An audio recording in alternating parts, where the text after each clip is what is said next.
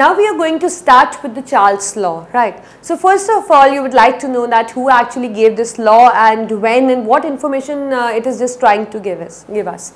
So it was given by Charles in 1678, right.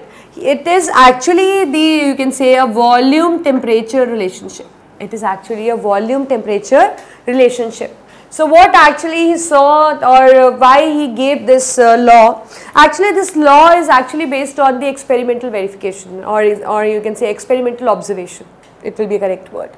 So, the, what you see in experiments that when you heat a gas, uh, obviously the volume of gas gets affected and when you cool the gas again the volume gets affected.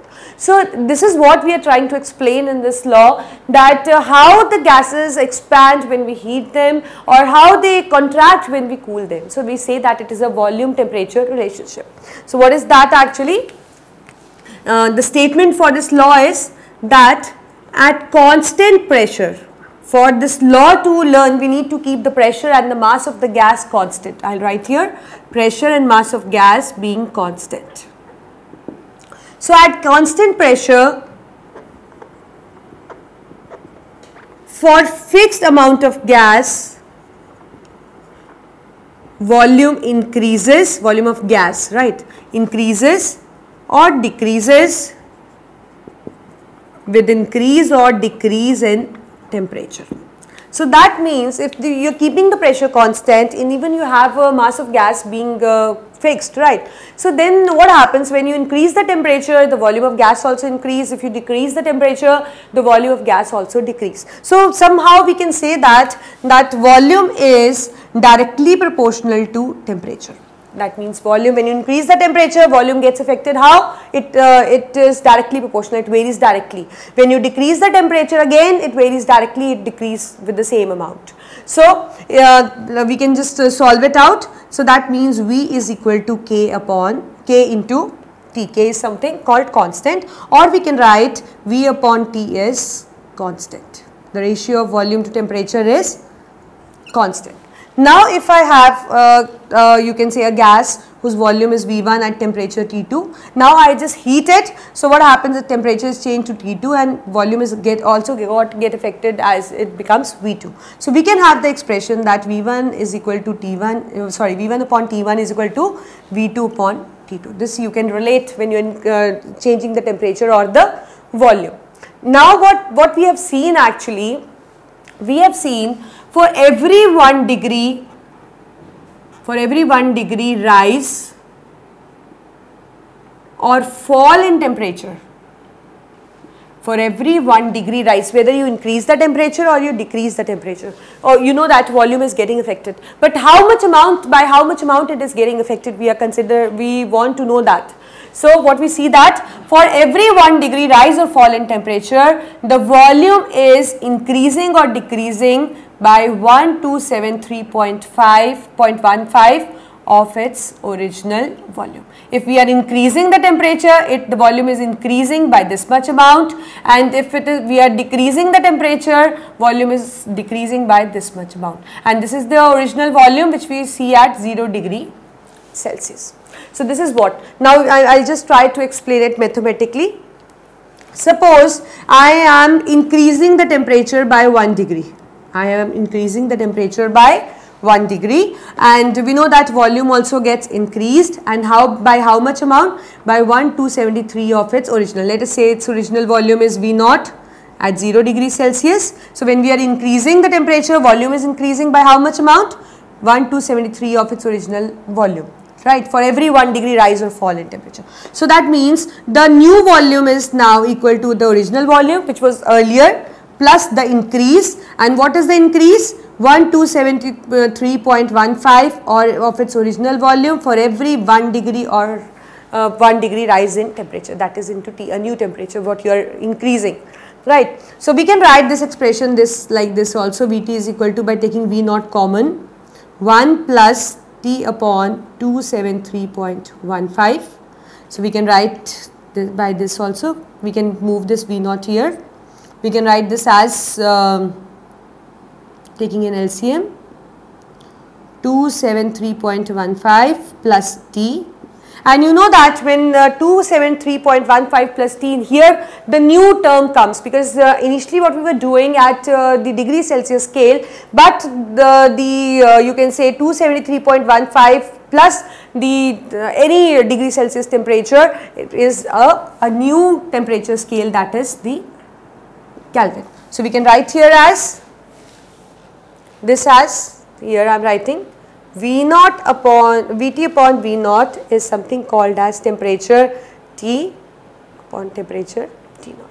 So, we can move we can write as V1 upon V2 is equal to T2 upon T2. So, this is what is we are trying to explain here to derive a new uh, you can say the scale of temperature that is the Kelvin scale which is equal to 273.15 plus the temperature in uh, degree Celsius. So, this is what is the mathematical expression.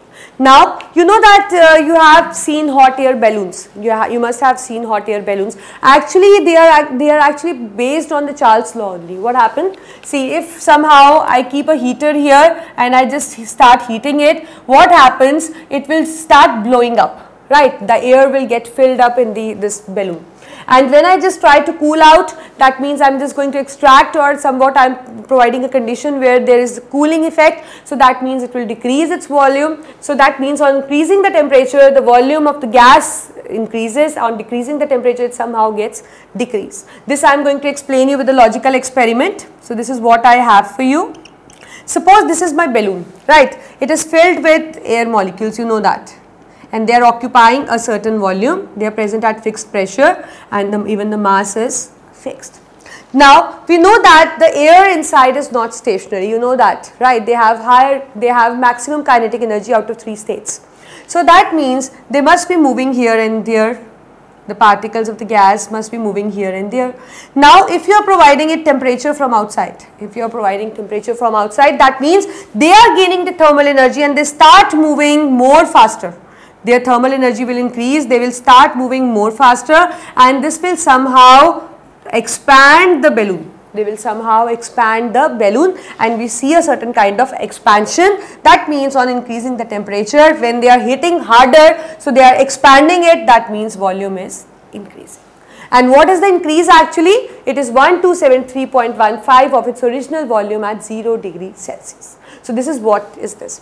And if you want to perform a, a, daily routine experiment in order to confirm Charles law, you can do that. How you can do that? See, I have made a fridge for you. Right. So, this is my fridge and this is my balloon. What I am going to do is that I am going to keep this balloon inside the fridge. So what happens after some time when I'll take it out because in fridge we know that the temperature is low because there is a cooling effect. So temperature is somewhat lower. So when I'm going to take this balloon outside from the fridge after few hours, what I'm going to see that the volume of the balloon gets decreased. Because when you decrease the temperature the uh, kinetic energy of the air molecules which are present inside the molecules somehow cease and uh, they start getting contract right? So this is what we get we get to observe in the daily routine. And it is based on definitely on the Charles law. So this is what is the you can say a daily routine experiment which you can carry out in order to make you familiar with the Charles law so now I think it's clear that what is the Charles law that when you keep a pressure constant for a fixed amount of gas the volume varies directly with the temperature. You increase the temperature volume also gets increased and if you decrease the temperature it also gets decreased and how much decrease or increase it is 1273.15 of its original volume for every 1 degree rise or fall in temperature right. So this is what we see here. Now if we if somebody uh, talk you about the significance like what you can see in a practical uh, routine so you can say that that the hot air balloons which are used for meteorological purpose are actually based on the Charles law. Because when you heat them they just uh, the balloon just blow up. When you cool them the the air just gets seized and the balloon uh, you can say start contracting shrinking. The volume gets decreased. So this is what. Now it's time to explain uh, in terms of uh, in graphically ter graphical terms. So now here I am plotting a graph between volume and temperature and here I am taking temperature in degrees Celsius not in a Kelvin scale. So what we see that that at this temperature as you can see that at this temperature I have just originated all the lines not from the 0 1 because this temperature something corresponds to 273.15 degrees Celsius. So we have seen that this is the temperature that is the 273.15 degrees Celsius at which all gases actually uh, you can say occupy a zero volume. So we say that they just the graphs just originate from this point and we see that uh, it varies uh, we can see a straight line at different pressures and each line which we plot between V versus T at constant temperature is called as iso bar. So, this is our iso bar. So, this is what how you are going to explain it graphically and here uh, this the lowest temperature at which the gases tend to occupy zero volume is nothing but the you can write 273.15 degrees Celsius or 0 Kelvin. 0 Kelvin is also uh, actually called as absolute zero scale or ab sorry absolute scale of temperature because the lowest possible temperature on it is 0 Kelvin as far as in practical experience we haven't achieved this temperature because before uh, we reach this point the gases tends to liquefy right. So but otherwise we can say that this is the temperature that is the absolute scale when the gases will occupy actually a 0 volume that is why it is called as absolute scale of temperature because here the gases tend to occupy almost the negligible volume that is the 0 volume. Now we are going to start with a question on it. So what do we have here? We have on a ship sailing in a Pacific Ocean, a ship is sailing in a Pacific Ocean, right? And where the temperature is this. So I'm just going to write, uh, my ship is in Pacific Ocean and the temperature is somewhat this.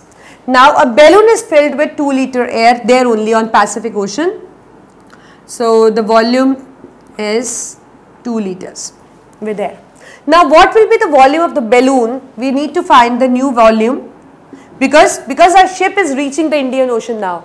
Because it started from Pacific Ocean where we filled the volume uh, balloon with the 2 liter air. Now uh, and uh, there was a fixed temperature as well. Now our ship is moving from the Pacific Ocean to the Indian Ocean. We need to see that is there any difference in the volume of the um, balloon or not. So we are just looking for the new volume. And here the temperature is again different it is somewhat increased from 23.4 to 26.1. So, we know that it is very clear from the formula that we need to put this kind of expression. But before we do that, we need to make the units same. So, as you can see that it is in liter again you need to find that degree Celsius, degree Celsius it is okay. But when you are uh, solving this question you need to uh, this thing convert into Kelvin. So, just convert into Kelvin scale because it is the absolute scale which we will be taking up. Just put the values. So, V2 is something V1 upon T1 is equal to T2. So, put in this value and the time you will put it, you will get the answer equal to 20.8 liters. You know how to do the calculations. So, this is what is the Charles law. So, if somebody is going to ask you that who gave the Charles law, you should be clear with the answer Charles because as the name are similar, right.